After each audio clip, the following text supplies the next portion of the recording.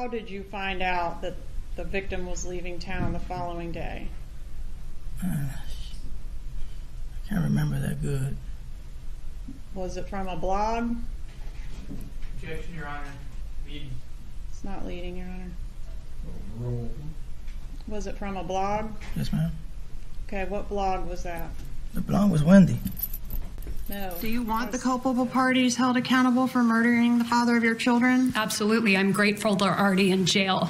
But not if it's your family. It's not my family. I mean, somebody hired him, right? not necessarily. Somebody paid him. I learned something this morning. Yeah, me too. You didn't want him held accountable if it was your family members. Didn't you tell law enforcement that? That's not what I told law enforcement. What did you tell law enforcement?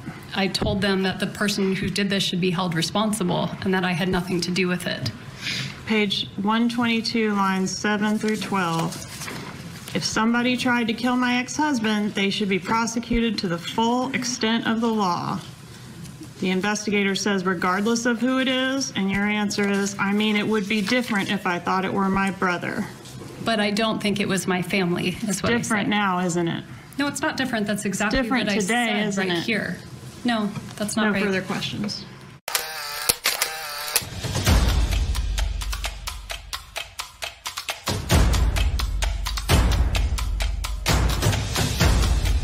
You are listening to the Roberta Glass True Crime Report, putting the true back in true crime.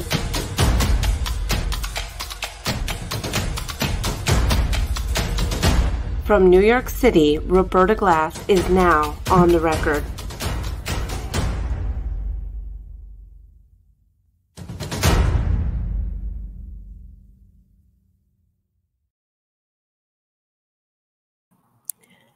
Okay, how is everyone? Boy, am I excited to to talk to you today. In addition to a pretty interesting subject and one that has been talked about since I've been following this case, which is why is Wendi's demeanor on the stand so weird? What's going on? What's up with the head tilted to the side, eyes wide open, mouth a little bit open, doe eyed look on the stand? What is this all about? What is she doing? It's not something that we see often in trials someone with such a strong affectation. But today I am going to play for you pretty interesting video from a psychiatry resident. So it's and he's going to look he has some ideas. It's some of the same things that I've noticed and when I was going to the NXIVM hearings and the NXIVM trial, meaning Keith Raniere, the NXIVM's guru leaders trial, he is doing a 120 year sentence now, thankfully. So, but before I get into that, want to thank. I have been having so much fun all day. I want to thank AussieDood for sending me a birthday present. I've been like a child all day. My own gavel. I've been like like a, a two year old all day. Hammer, hammering nothing. Order in the court. My boyfriend's I hear him yelling from the other room. You having fun with that? I am having fun with that. Thank you so much, AussieDood, for the birthday gift. My own, my very own gavel. What more could you want? Put me in a good mood. Um, let's get into your questions or our comments, really. So last time we were talking about what were we talking about? Donna, I think. But a lot of comments about about Wendi too. So Gaga, north of the 49th, 62 says, What sheltered grandmother would call back a stranger who is harassing her to reason with him? She would have picked up the pol- she would have picked up the police immediately. She would have picked up, I mean, picked up and called the police. I think that's what you mean immediately and had them come to see her to start an investigation or put a complaint in. Exactly. Instead, she's saying, I'll call you back. That's how that call ends. So I was pointing out, hold on, I'm a little too enthusiastic and maybe a little too loud here. I was pointing out how that really is going to be the cornerstone, has to be, of their defense, Donna's defense, Donna Adelson's defense. Her call with the undercover from the bump where she says, I don't know anything. But it's so opposite how an innocent person would react. I don't think she quite sold it. I don't think she quite had the effect she was intending. Donna Evilson. Donna Evilson says, all because of narcissistic personality disorder. Donna and Charlie, more so Charlie, just couldn't keep off the phone. He had to pick his mom's brain on who called. Wendi just had to go to the crime scene. She had to feel the rush. She couldn't wait. She just had to know this will sink Wendi and Donna in the end. Yeah, Donna, Donna Evilson, what you're really talking about in your comment is their need to control things. So part of having control is having all the information. So you'll see that in Donna's arrest video too. She wants to know exactly where she's going, what the next steps are, what she can expect to maintain control. But Wendi really, I was looking at chart. Wendi really couldn't help herself, and it's a terrible. I think it's the thing. It's a terrible thing for her, a bad fact for her, that she drove by the crime scene. For me, I found it very hard to believe she didn't know anything or wasn't involved from that very bad fact in this case. and you can hear Charlie on the wiretap. I was listening to Charlie's. You know, when you're listening to YouTube and, and, it just turns over, you have, you know, it turns over to another video. So I was washing the dishes and that video came on. I was listening to Charlie Adelson's cross examination, and he's he's arguing in it that Wendi just drove by the wrong way there's nothing incriminating about it. And then, cut to, there's a great video to be made here. Hey, Murder by Maestro. Hey, the Society page. Hey, it's Miss Lisa on my favorite channels. Then, cut to his jailhouse tapes where he's bemoaning why did Wendi drive by the crime scene? So, in cross examination, he's saying, Oh, there's nothing unusual about it. She just was on her way to buy Bulleit bourbon for her stock the bar party and she just happened to take that route cut to the jailhouse tapes and there he is talking to his mother saying any reasonable person would say she had to know. She wouldn't drive by that way by accident. But on cross examination he takes great offense. It's really funny.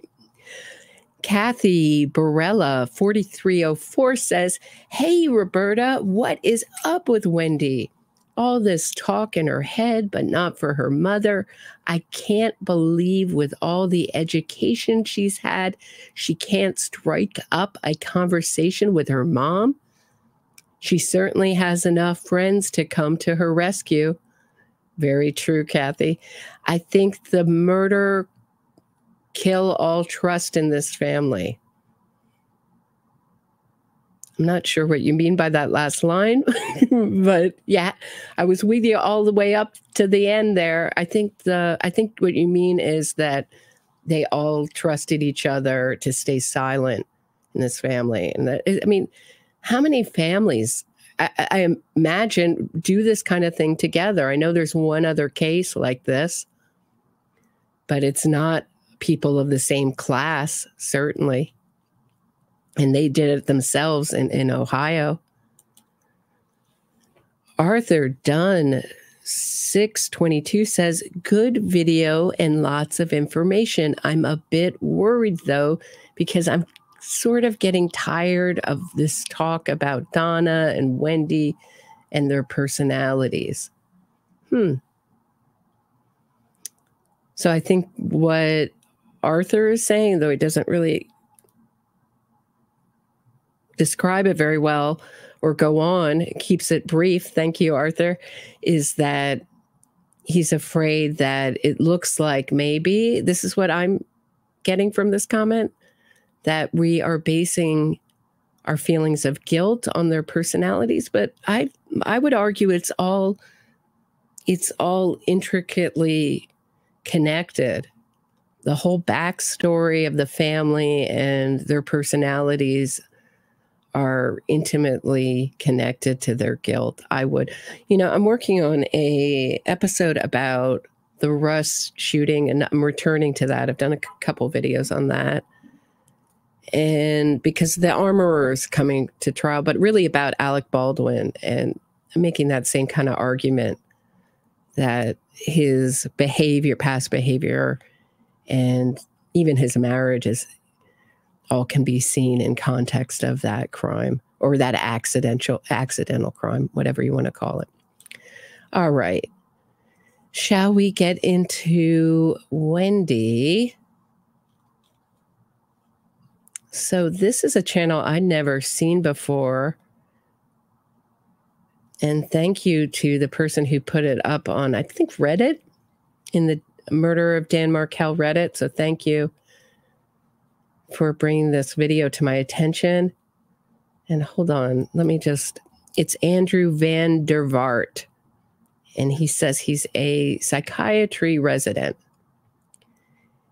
And he asks, Is Wendi trying to hypnotize us? So before I get into this, what he's talking about is some of it in this is neurolinguistic programming. And this is a technique that was used in NXIVM.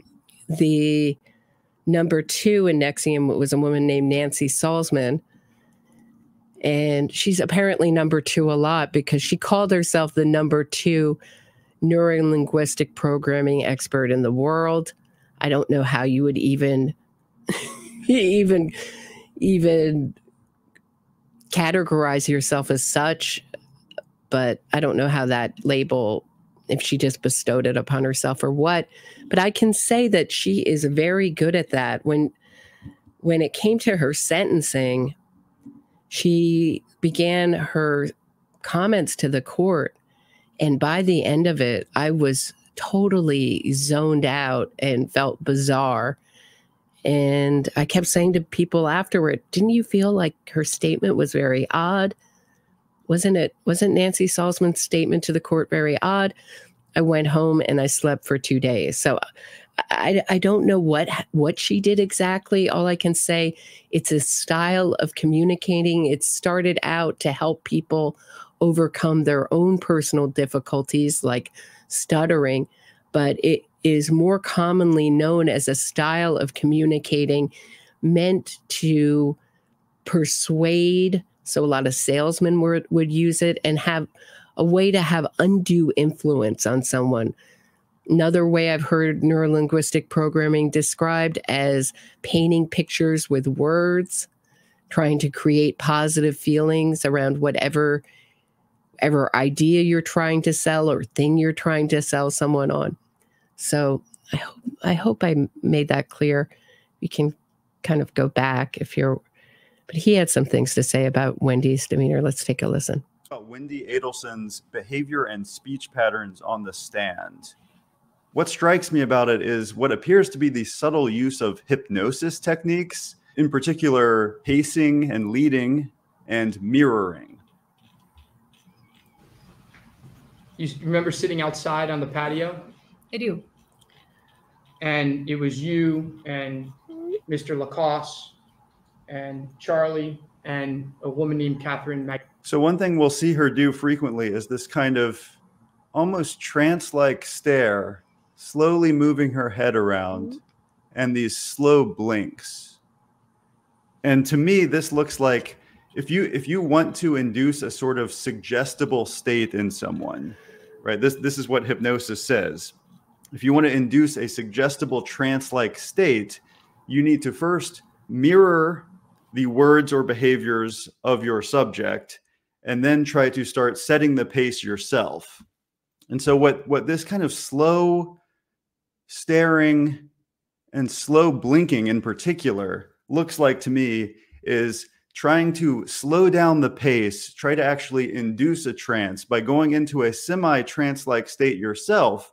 If you find that your conversation partner is suggestible, you'll find that they'll also slow down and go into this trance. And your goal is a suggestible state that comes with being this sort of relaxed, slowed down, you know, suggestible state, right? So, the way I've heard hypnosis described is uh, if you've ever been driving and you're thinking about something else and you missed your exit. So, it's like you're that sort of that state where where what you're thinking about becomes more I, I guess becomes so the your reality becomes secondary to what's going on in your head I think that's a good way. Daydreaming is another way uh, uh, of of describing it. So what he's saying is she's moving her head in a way to get you in a rhythm that's a little bit trance-like, and obviously she knows her brother is very guilty, and I guess she's trying to pull out whatever she can to convince the jury that that that she's not involved in this and that her and that her brother wasn't involved in this either After dinner, you and uh, Jeff Lacoste um, stayed at Charlie's house, right? We did. After dinner, you and uh, Jeff Lacoste You can see the how slow um, those stayed blinks at are. Charlie's house, right? We did. I don't really remember if I was nervous around him, but I started thinking it wasn't the right relationship. Every time charlie's wearing this outfit it always reminds it always looks to me and i don't know if it's just a light colored shirt but i look at him and for a second i think he's wearing a tux. And i always think the maestro in my in my head with this outfit he wore one day in court. It's very light. It just his hair kind of kind of pushed back. Looks very much very much like the maestro like he's going to conduct an or- orchestra or something He started accusing you of being unfaithful, right? He did. He accused you of having an affair with someone that you had previously dated. He did. Excuse me. You told him that you didn't. You denied it, That's right. and he didn't believe you. He did not. Before this individual that you used to date, you had coffee with at a place called All Saints in Tallahassee, right? I did. And Mr. Lacoste saw you having to- coffee with this individual, right? He did. And that caused a confrontation. Is this where I started to pick up this bad habit of calling Jeffrey Lacasse Lacoste? Lacoste? Is it from watching all this, all this footage? I don't know. But I always think about this coffee date that she knew he would be there and she needed more. They're very scheming, these Adelsons. She needed more, very, always happy to set people up. And he was supposed to be the fall guy so she had to prove that he was horribly jealous. So she set up another date when he suspected her of having affairs and he was right. I love that. I love that she's like well yeah i couldn't deal with him. He was just thought i was having an affair. Yeah he was right. Rightfully. So kind of funny so Yeah, I think she set this up on purpose. That if I had to guess, I I can't I can't know though. None, and none of us can ever know really for sure, unless we're Wendi or someone in her inner circle. She told. Is that fair to say? He flew into a rage. He basically exploded at you. He did. He yelled at you for hours. He did. He accused you of having affairs with multiple people. He did. Uh, you were very upset, to say the least. I was devastated. Yeah. She was devastated. I was devastated that my Patsy boyfriend was upset about the affairs I was having. It's Miss Lisa. Love this new content to analyze and dissect. Great find, Roberta. Thanks. Thanks so much. And thank really thank the people at Reddit who found who brought this to my attention. it's but thank you, Miss Lisa. Yeah, it's kind of interesting. I think a lot of people had brought up this idea of hy- hypnosis, but this is the first visit video where the, anyone brave enough to say, "Is Wendi trying to hypnotize us?" So There's also repetition and mirroring in her speech patterns. So the way she answers questions most often is he did, or I did, or I did not. And so part of that is just the pure repetition of it. He basically exploded at you. He did. He yelled at you for hours. He did. He accused you of having affairs with multiple people. He did. So the, the repetition part is another form of pacing. The same way you can use your mannerisms to slow down the pace, you can use repetition to kind of induce an inertia. Giving different sorts of answers kind of creates this, you know, back and forth sort of dynamic uh, that keeps people kind of alert. But if you give just the same answer over and over again, that alertness might go down as people are getting used to the kind of momentum or inertia of the conversation. And again, that can promote a kind of trance like suggestible state. Now, I'm not saying she's trying to literally induce a trance, but she's trying to perhaps induce a minor form of a trance like state that is essentially heightened suggestibility. I don't know if Wendi Adelson has ever formally trained in hypnosis. Yeah, but a lot of people who train in public speaking, in sales tactics, persuasion tactics, all those things are very necessary if you want to be not sales tactics so much, but persuasion techniques, public speaking techniques. They're all used by people who use neurolinguistic programming. And I would think Wendi would have some experience or want some experience. Pretty much every famous politician that you can think of has at one time studied neurolinguistic program or is using it. So it, it's pretty interesting. If you go on the Wikipedia, so I was having a discussion with my boyfriend before this episode, and, and he was saying, Well, can you describe neurolinguistic programming? Meaning he's very literal and it's pretty amorphous and hard to hard to describe hard to describe because also it's had many incarnations depending on what started out really as a, a, personal growth thing and then really has rooted in our culture as a persuasion technique and one that is very criticized because ultimately what you're having is undue influence over someone they don't know you're if you're using it without someone knowing you're using it I think most people would consider that it, not ethical. So, what he's talking about here with the rhythm, it's almost like you can hear between Rashbaum and Wendi. It's like a, as if anyone's watched tennis, it's like that volley back and forth of the ball, but now they're doing it. Uh, now they're doing it with question and answer but oftentimes people that are formally trained in persuasion will know some of these techniques because there's a significant overlap between the literature on persuasion and the literature that is more in the niche of hypnosis. You know, if you look at Robert Cialdini, who wrote Persuasion, and then Scott Adams, who's talked about the relationship between hypnosis and persuasion outright. I would suggest that being a you know high-powered attorney, as Wendi Adelson is or has been, would make it reasonably likely that she was familiar with persuasion techniques. And so that those persuasion techniques are maybe where she's getting this hypnotic kind of practice. You went down to South Florida on June 30th, and you and the boys stayed with your parents, right? We did.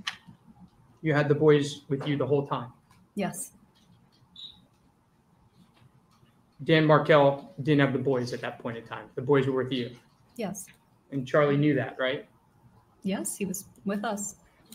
So what I think she she must be aiming for is for the jury to get listening to the rhythm of the conversation and not the content of what she's saying. That would be, I would think, the purpose of this, using this technique. If she's using it, this is, of course, none of us can know for sure. We're not Wendi. We're not in her inner circle. We, we can't know. So Charlie Adelson also does the slow blinks. So I don't know if that's possibly this is just something that is almost a genetic tendency to just have these sorts of slow blinks. I would argue that Charlie Adelson's blinks are very different than a slow blink. They're they're how how how do you say this? Like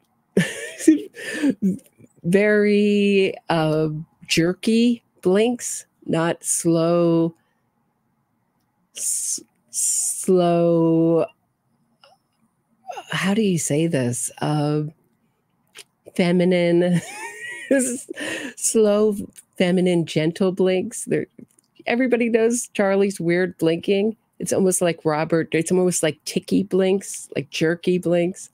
I wouldn't call them slow. I wouldn't include it as as I wouldn't include it in the same category as Wendi's slow, grace graceful. That's the word I was looking for. Graceful blinks.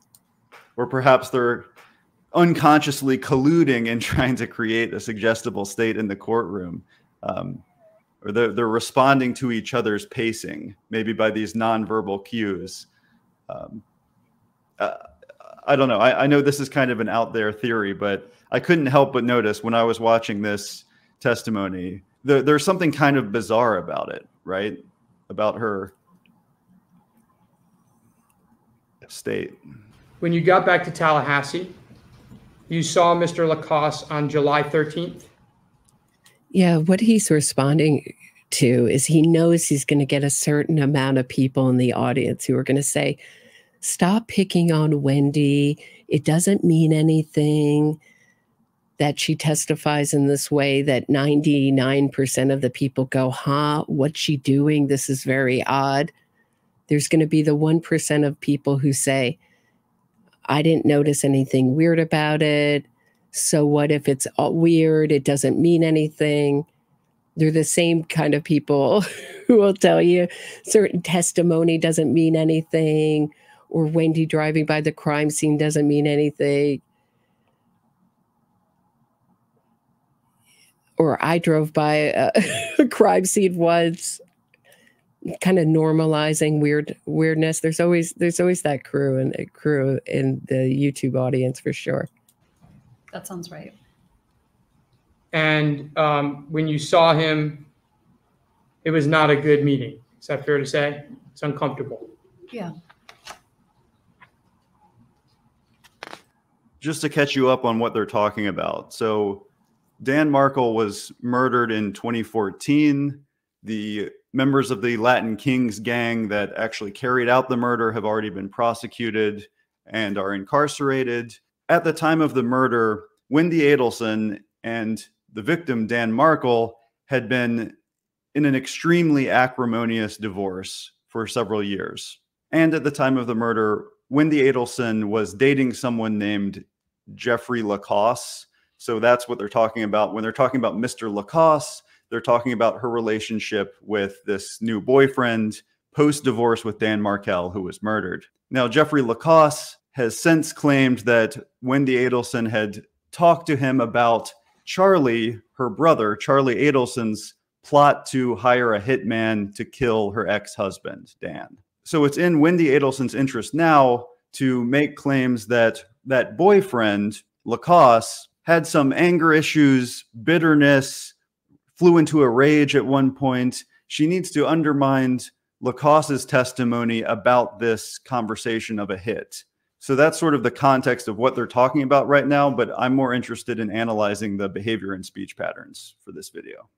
You saw him the next day at a yoga studio I went to yoga and he wanted to come. and uh, it was awkward It was.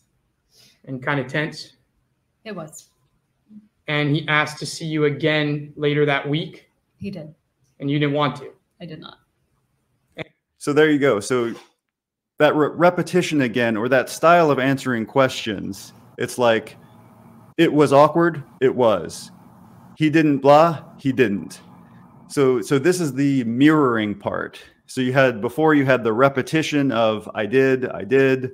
Now you have a mirroring where the attorney uses a certain verb like it was blank and she says it was. So she's now mirroring the attorney by just repeating those same basic verbs. It was, I did. And again, in hypnosis, the reason for mirroring is you first want to be mirroring the subject and then you start testing whether you can lead them.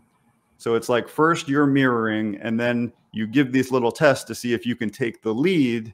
And once you have the lead and you see them mirroring, then you know you've achieved your suggestible state. You never saw him again, right? Right. So it is a challenge. It, what what he just described. I, were you guys paying attention? So pretty interesting stuff. So what he's saying is that if she can mirror Rashbaum, she can lead him. She can get him into a suggestible state and lead him where she wants to go next. So, which is really kind of what interests me about Rashbaum's cross of, of Wendi here in the little bit that we've just seen is it's so on message with Wendi being the victim. So, did he yell at you for hours? He did. Did he berate you about your alleged infidelity? He did. Was it then he followed me to yoga I was going to yoga and he and he wanted to come. As if Wendi had no say. I couldn't I couldn't keep this incredibly out of his mind, incredibly jealous, out of his mind with possessiveness and jealousy, soon to be ex-boyfriend away from my yoga studio. He was he was clawing to get in there. That's what you say. I couldn't stop him. He, he's he, so she's she's partially she's insinuating he's a stalker. Let's just call it. Let's just say it.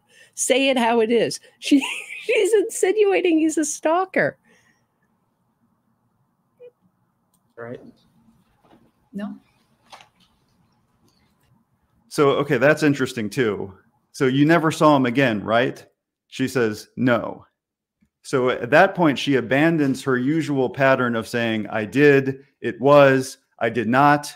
You know, that time she doesn't say, I did not. She says, no. Now, remember, she's she's a lawyer, right? So you have to think she knows what she's doing this whole time. You know, she's definitely quite intelligent. I don't know if she is as intelligent as she believes she is, but I can't deny I think she's very intelligent. But so why would she only say no that time? Theoretically, Wendi is very intelligent. She graduated magna cum laude from Brandeis, valedictorian from her class. My daughter, th- there's no one more intelligent than my daughter. If you don't see that my daughter's intelligent, you're stupid. You're stupid. By the way, are you Jewish? Do you need a date? Her saying no there could be it could be no I never saw him again or it could be no that's not right. Because the attorney said you never saw him again, right? She says no. So she's giving herself the possibility of answering a question without answering the question. Um, you know, I don't know if in this case she's saying it because she doesn't want to admit that she saw him again. So she's giving herself this out of just saying no rather than being more precise and saying, I did not see him again. It's just that that kind of strategy I'm suggesting might be the kind of thing she's capable of doing because she.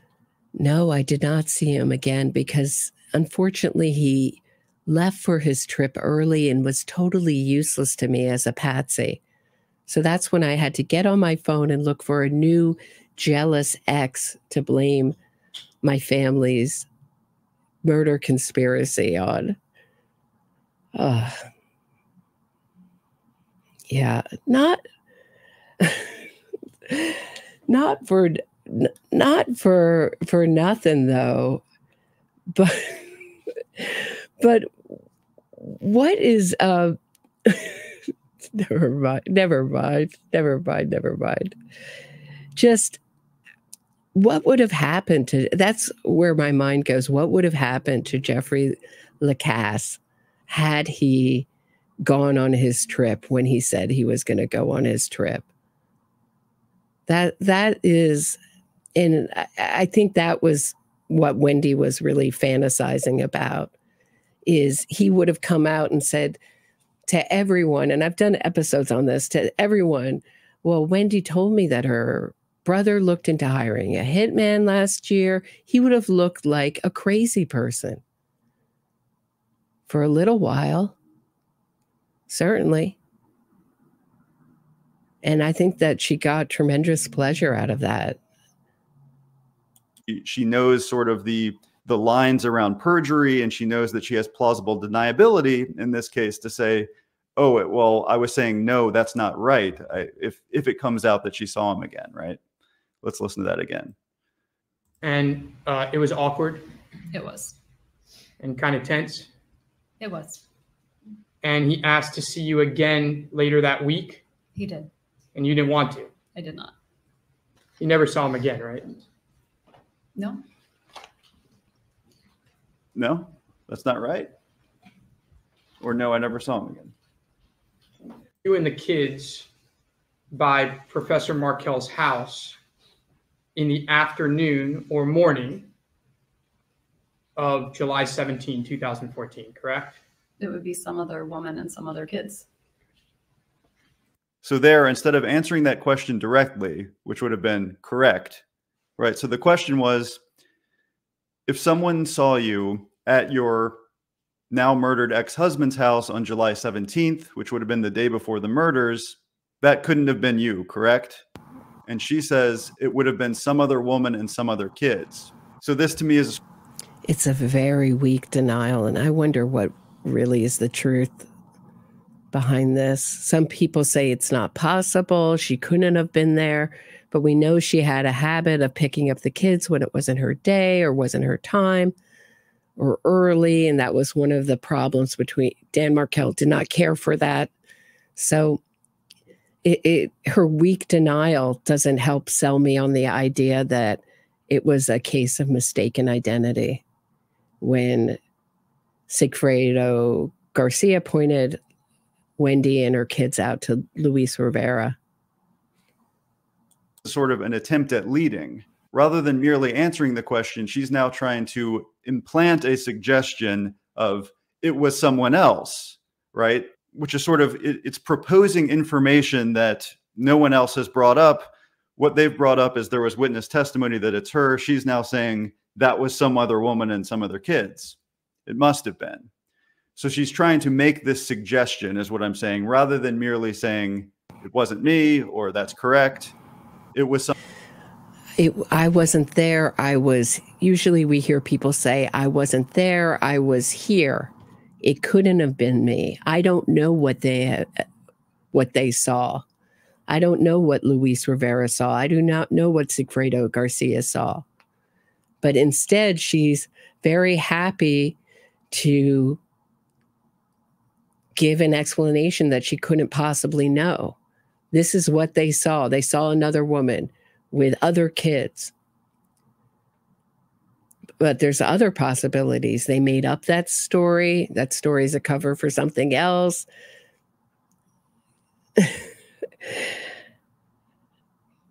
she doesn't know. She can't know, but she's saying with absolute certainty that it was a case of mistaken identity. They saw me here and not there, and they remembered it wrong. There's another there's another possibility. Someone else. The person would be wrong if they said that they saw you and the kids by Professor Markel's house in the afternoon or morning of July 17, 2014, correct? It would be some other woman and some other kids.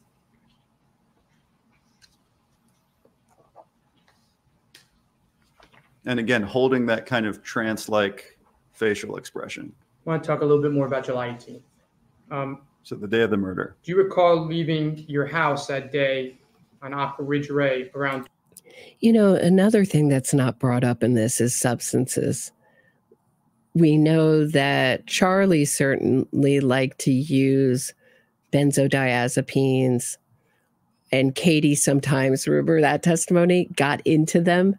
So I think in an attempt, if Charlie thought he was going to get acquitted and he would still have his medical license, and I think it's the clock is ticking on that being taken away from him, certainly after his murder conviction. So he says instead of saying, I gave Katie a pill, he's going to say, she took it. She, she went into my stuff and took it herself. So that would get him out of any kind of issue with basically giving giving out controlled substances like they're candy is not a good look for a periodontist. 12:30 in the afternoon, I do.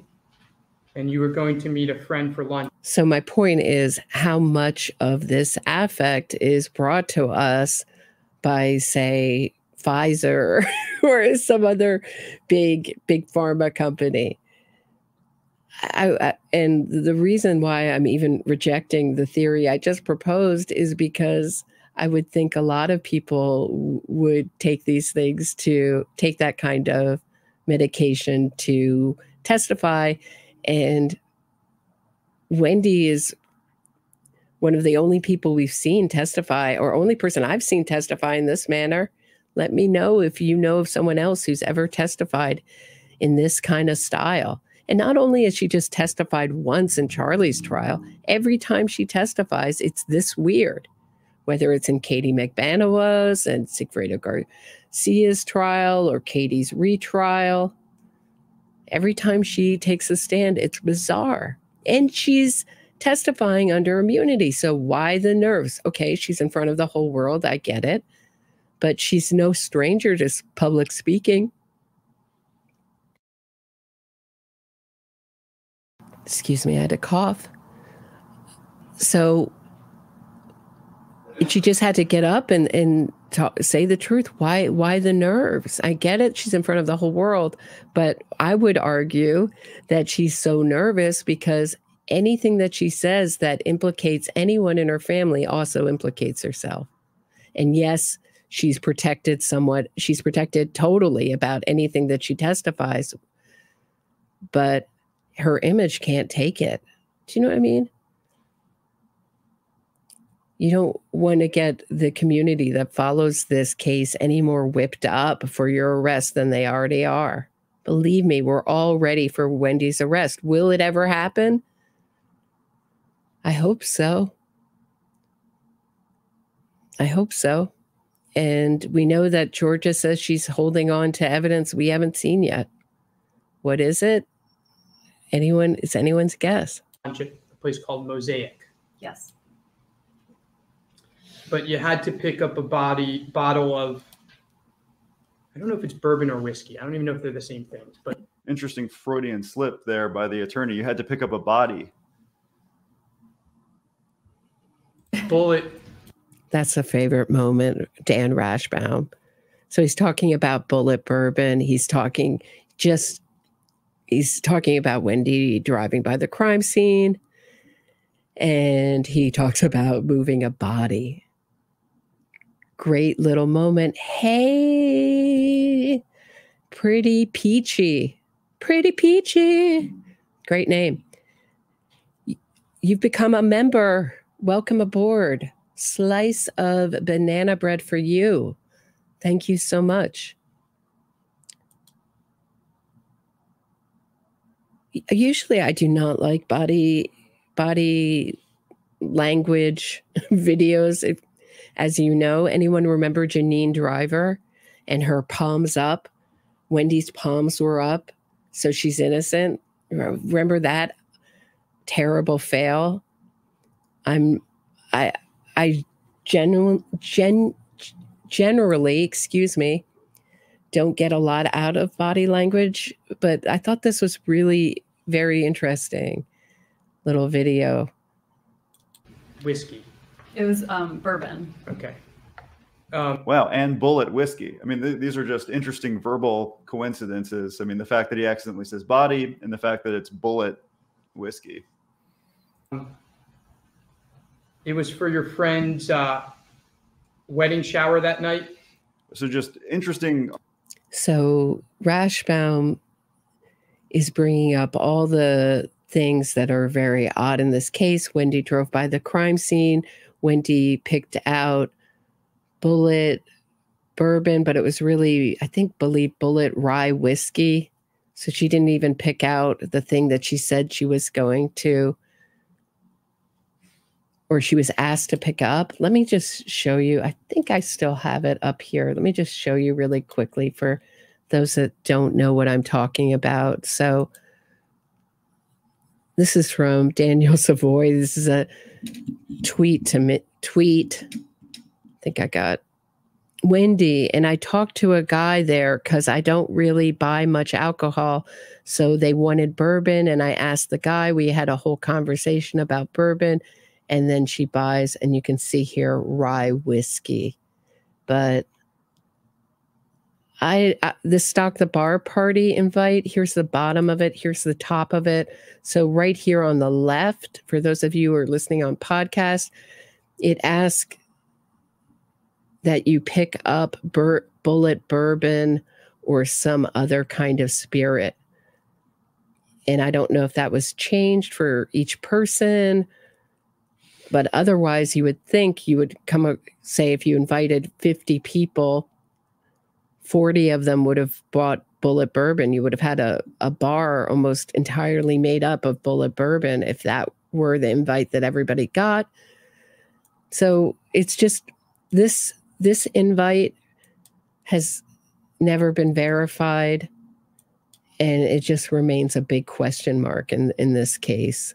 So we don't know if this is the real thing, if it was made up by someone in the Adelson family or someone who is following this case who wanted the clicks.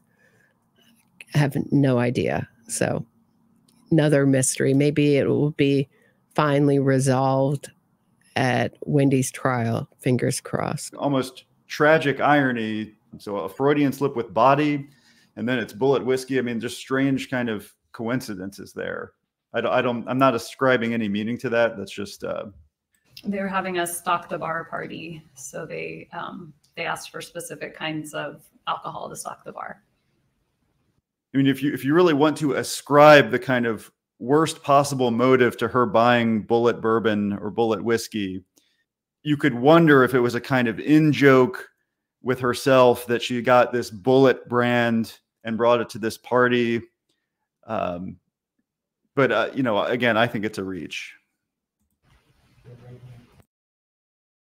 Well, you can think it's a, a, a reach, but you, we also don't know. We know the party. Let's go back to the invite. I'm sorry, one more time, guys. I hope I'm not boring you, but we know that it takes took place between 6:30 and 8:30. We know Wendi has small kids. We've never heard if she arranged for babysitters. So that if she never didn't arrange for babysitters,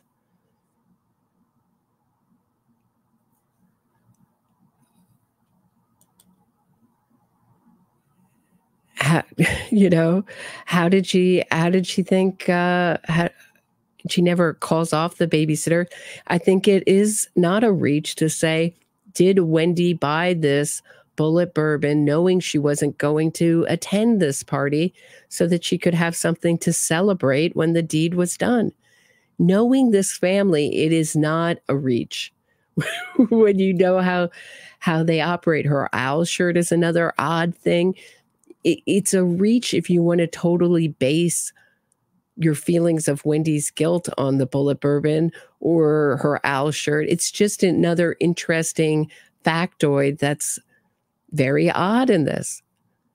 But driving by the crime scene, and she has many different reasons why. One is one is that she has a bad sense of direction and she needed to go a route that she knew.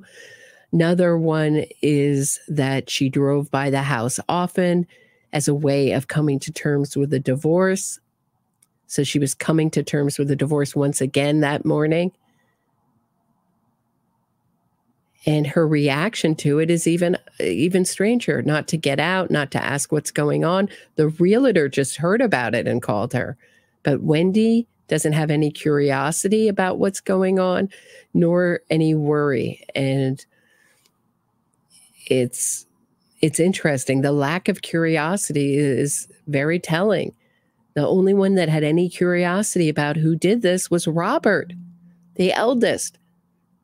He kept asking, Don't you want to know what happened to Dan? Doesn't anyone in this family want to know? And they were all disinterested. Why? Because they already knew. That could be one, I think, very rational conclusion. And that was the conclusion that he made. And then estranged himself from from the rest of the family. And your lunch was in, interrupted by investigator Isom, who told you that something had happened. That's right. You went with him voluntarily to speak with them? You let police search your car. Yes. You were interviewed with uh, the investigator. Glenda Kay, thanks so much. Rashi, I love that. Rashi made po- made a point that he and Wendi had not spoken before he examined cross-examined Wendi. So how does he know her exact story to feed her on the stand including how she felt at each juncture?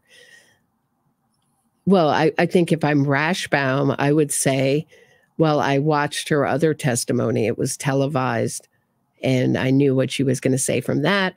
But I think what you're picking up on, Glenda, is how rehearsed it feels. It really feels like they're putting on a performance with Wendi as an actress with memorized lines.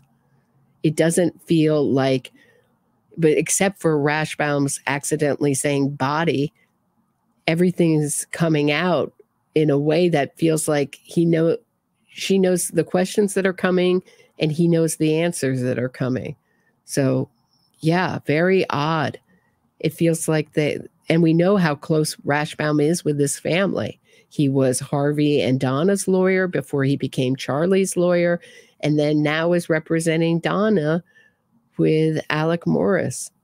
So, very close with this Adelson family. In, in fact, I would say, once again, he's enmeshed in this family in the same way these children are enmeshed, meaning Wendi and Charlie are enmeshed with their parents, Harvey and Donna. It's like he's he's the the long lost Adelson. It's like Rashbaum is the long lost Adelson family member or something. It's very odd investigator from two four, approximately 2:45 p.m. until 7:50 p.m. Yes. He told you that your ex-husband had been shot and was unlikely to survive, right? Yes. You were in shock. You were pretty open with police, telling them a lot of things, right? They kept telling me they needed my help, and so I kept trying to help. Now, you remember on direct, Miss Cappleman asked you about this interview. Yes. And she asked you about all the people you mentioned during the interview, including Charlie. Yes. And you said I was just wheeling off names, right? Yes. In fact, isn't the first person in the interview that you mentioned was yourself? Yes. you said that you would understand if you were viewed as the prime suspect, right? Yes. Before you mentioned anyone else, you mentioned yourself. Yes, You told them about the motion to relocate. I did. You told them about the fight you had with Professor Markel that very morning about some swimming for the boys. Yes. So, okay, I think Wendi Adelson listing herself or naming herself as the first person of interest or saying that probably I would be the primary suspect because if anyone has a reason to kill him, I'm in an acrimonious divorce, I'm the ex wife. You know, I think this could be seen as a kind of persuasive honesty. You know, she understands criminal investigation. So, on the one hand, even if she weren't in an extremely acrimonious divorce, she's the the ex, right?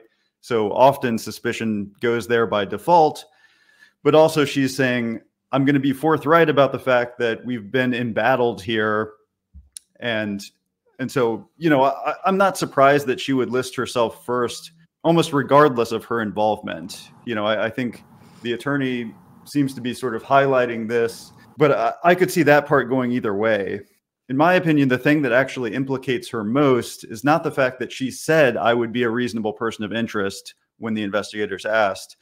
It's that what she's referencing there, the uh, relocation dispute, was about Dan Markel essentially barring her from moving the kids down to Miami, where Wendi Adelson's family is primarily in Miami or South Florida.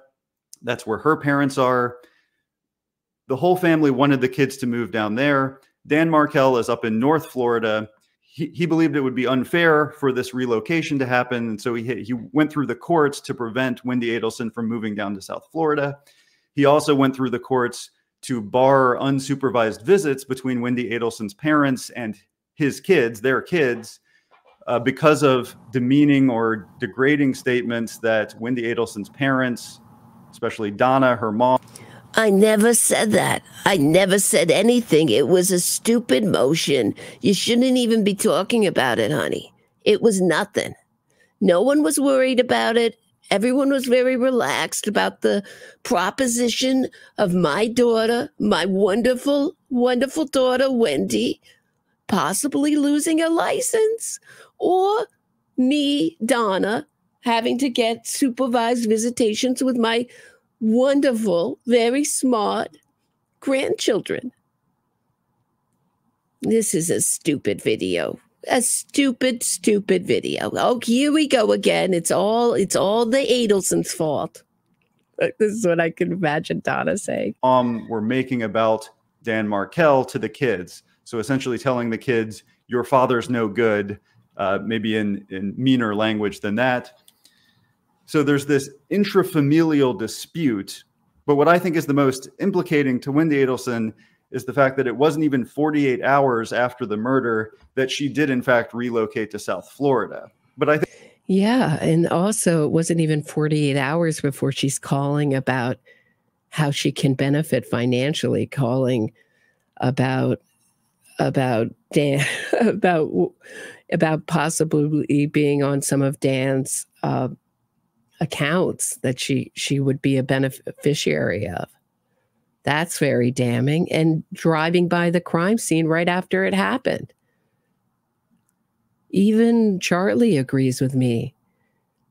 So it's interesting to note that Charlie disagrees with the maker of this video.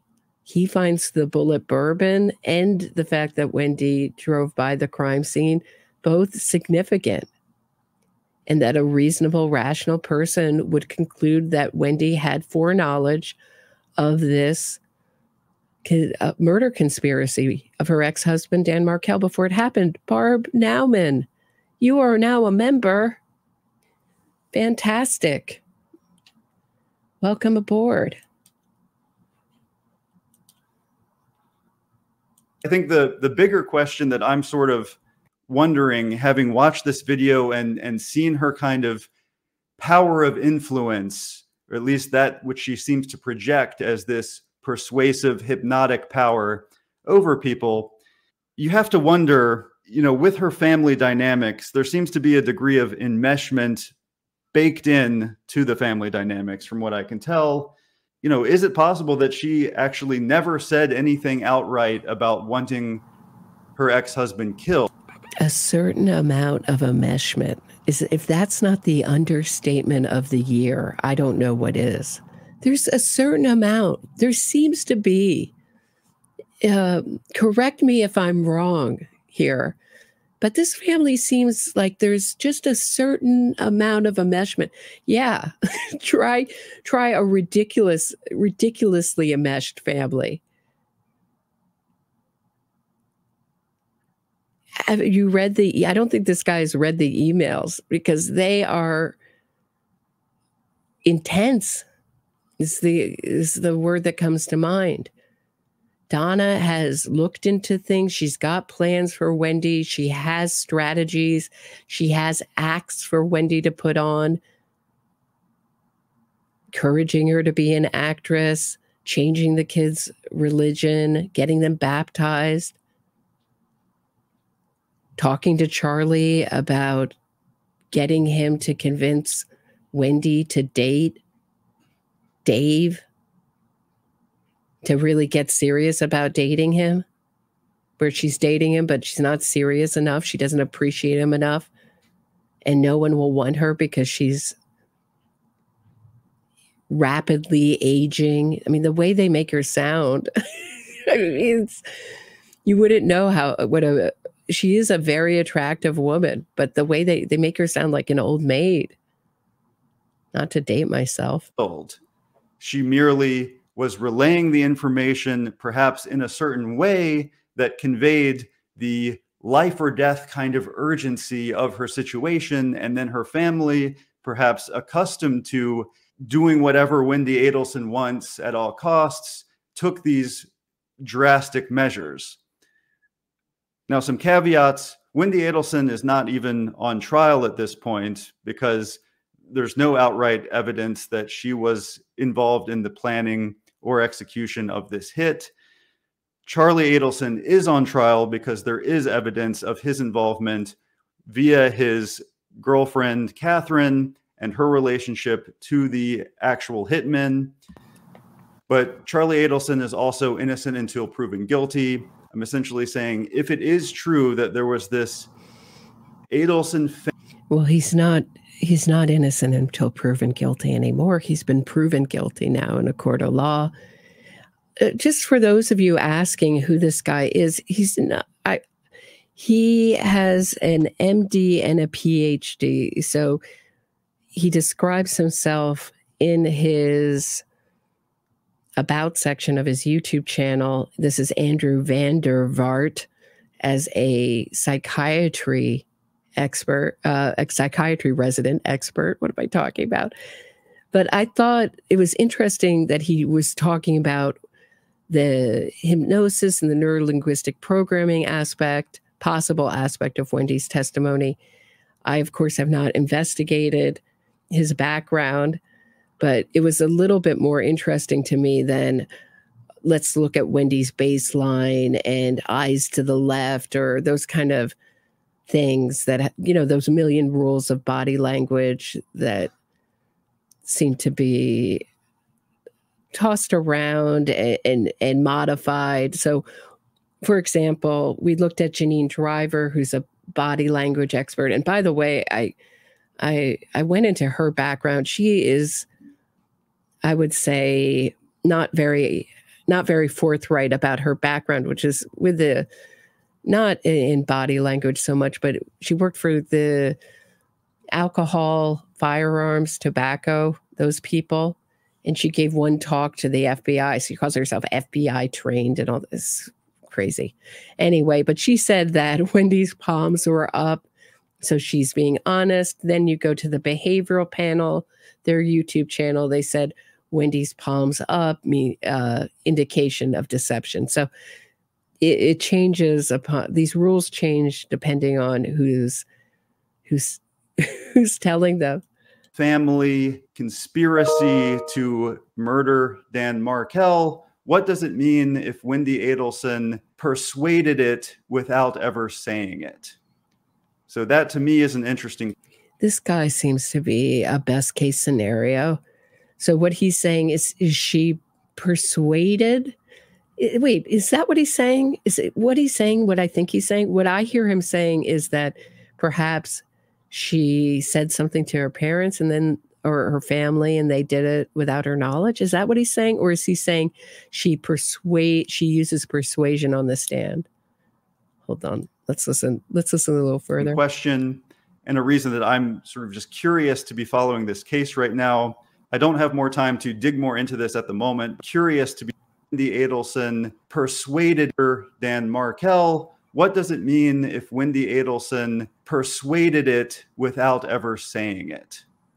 So that to me is an interesting question and a reason that I'm sort of just curious to be following this case right now. I don't have more time to dig more into this at the moment, but I appreciate your attention as always. Often my goal is to sort of come at these cases from an angle that I haven't seen other people do. And so that's that's just my current take on the mannerisms, speech and behavior of Wendi Adelson, uh, but I will continue to follow along. Thank you. Okay. Yeah. So he was saying what I thought he's saying. So she said it. She said something that persuaded her family to take action. I, I'm I'm not buying that, um, as you know, and the reason I'm not buying that. Thanks, Barb Nauman. A meshed family with a hugely dominant psychopathic gene. Yeah, that's what I think too, Barb run while you can. Yeah, isn't it like marrying into this family? Isn't it like a horror movie? the unknown. They look so perfect on the outside, and then you get into the who they really are. Except for, of course, we're not talking about Robert, the eldest son. Whenever I talk about the Adelsons, I, I'm never talking about Robert. But what a creepy thing. And isn't it interesting that this guy wanted to talk about who he's a psychiatry resident or he says he is? I'm not saying he's not. I just don't know. I haven't I haven't researched myself. Isn't it interesting that he didn't take a, a more psychological approach and talk about Wendi's character or Charlie's character? pretty interesting. I'm glad I'm glad he he made that video though. I thought it was pretty interesting. And I learned a lot about neurolinguistic programming when I was covering Keith Raniere's trial and all the NXIVM hearings when before all the other defendants like Allison Mack and Lauren Salzman pled out Nancy Salzman. All the, there's ton of defendants in the early days. And many uh, toni natalie who dated keith raniere and then was stalked by the cult. She feels that neurolinguistic programming the people that were really susceptible to hypnosis those are the people that stayed in, in NXIVM. So it I, I would think that you know, if you go to, let me just show you really quickly. If you go to Wikipedia, and I am not the biggest fan of Wikipedia, I think anyone who studies court cases from the transcripts or goes to trials and then looks at the depiction of those cases in Wikipedia would not be such a big fan but sometimes it's good just to get a date or some other piece of information. But the way they describe neurolinguistic programming is it's a pseudoscientific approach to communication, personal development, and psychotherapy that first appeared in Richard Bandler and Jonathan Grinder's 1975 book, The Structure of Magic. And so they keep referring to it as a pseudoscience. But I, don't know what happened to me at Nancy Salzman's hearing, but the way she was talking, the only way I can describe it is, is somewhat is a as like the language was like a snake eating its own tail. Like it never went anywhere. The story she would she went all the way back to her childhood, but it never moved forward. Like the story never really moved forward, just kept winding on itself. Very, very strange. So I would think my point is I would think that this would have real that its persuasive techniques have to work in some way sometimes or else I, I don't know. Why is everyone using it? Why has it persisted over the years? Or maybe if you're a politician you just or a salesperson you go for these things that really aren't effective. I don't know. Uh, my feeling is I, I do think it can work um, out of desperation i guess that would be the counter argument there all right, I'm going to take a tiny bit of a break, 30 second break. When I come back, one of the victim impact statements written for Dan Markel. Stay tuned. If you are enjoying this episode of my True Crime Report, please hit the thumbs up, subscribe to the channel, and share this episode. Get access to exclusive podcasts and other bonus content by becoming a patron today. If you have a question or comment for me, shoot me a super chat and I'll do my best to answer it and read it on air. Thanks so much. Now back to the show. So I hear that Carl Steinbeck is coming up with a new episode. That I assume at eight o'clock Eastern. Is that when it is? I, if if you're on that live, come. I'll be in the. I'm I'm usually in the chat. I really like Carl's channel. Say hi. But what I wanted to ask you guys is who tuned into the society pages. Society page is having a contest to collaborate with him. I just wondered 8 p.m. Eastern. So yeah, Carl Steinbeck is going live 8 p.m. Eastern. Say hi to me if you see me over there. How many people are I'm wondering how many people are have ideas for that or thinking about participating in in, in that. Curious. Oh wait I, I just shared the wrong thing. My apologies. Hold on one second. I'm a little bit a little bit too excited that news was too exciting lost my head so, this is a more recent victim impact statement, and we know that because it was written October 22nd, 2023, and it was written for Charlie Adelson's trial. Dear Judge Wheeler, we attended Harvard Law School with Dan Markel over 20 years ago. If it were not for him, we might not have gotten married to each other. We he brought us back together after we had split apart, and we have stayed together ever since. Now blessed with two children. Bringing people together was only one of Danny's many mitzvahs, good deeds. As we are sure you will be reading about from friends, family, and colleagues, he regularly called and emailed us and took the time to visit us in person, even after we moved cross country to California. His murder was shocking and something we still think about a lot, even after so many years. He was a most memorable schoolmate and loving friend, and the least deserving of a deliberate, calculated death. Below are pictures of the three of us celebrate, celebrating, excuse me, Ted's 26th birthday during law school in the fall of 2000 when Ted was joking about turning 62 instead of 26.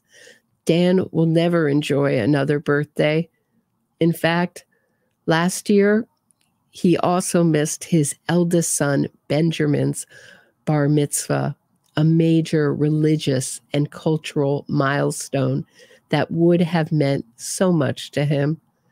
As we celebrated our own child's bat mitzvah last year, we thought to ourselves, Dan would have loved to celebrate our milestone with us too. So here you can see these are, maybe I'll try to make it maybe a little bigger. Xerox pictures. So they, it's hard to really, hard to see them, but you'll get a little bit of the idea.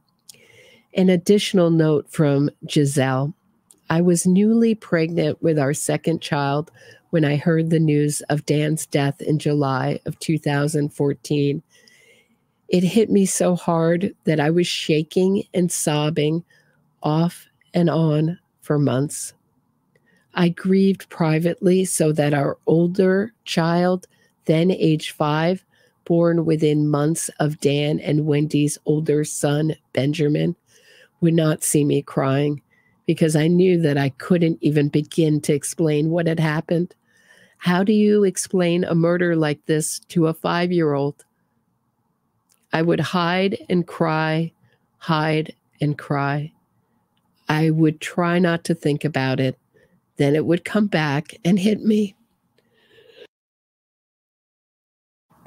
I sometimes worried that the intense grief would cause a miscarriage. I was terribly sick with nausea during the pregnancy. And to this day, whenever I think about Dan's death, I am hit by the same waves of nausea. We will never have Dan's loving, smiling face back. So all we can hope for now is justice. Sincerely, Giselle and Ted Chandler.